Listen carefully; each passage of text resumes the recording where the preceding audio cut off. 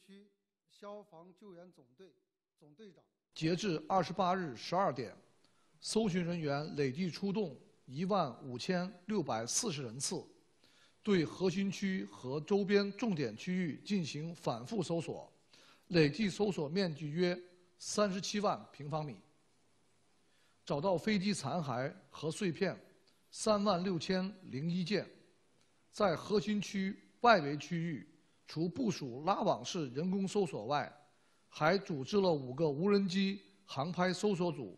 累计搜索面积约九百五十四点六万平方米。中航集团的援助人员成立工作专三月二十三日，组织地球物理探测仪器设备进入飞机坠落核心区进行探测，使用探地雷达、电磁声等测定飞机撞击对浅度岩土层破坏以及飞机残骸的。分布情况，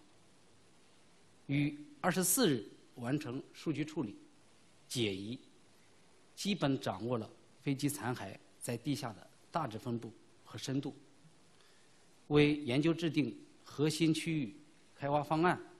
开展搜寻工作提供支持。连日来，自治区交通运输厅按照现场搜救组的指令，先后组织九百余人。开展地质勘探、边坡监控、施工作业、现场协调等工作，出动小型挖掘机、装载机、自卸车、平板车、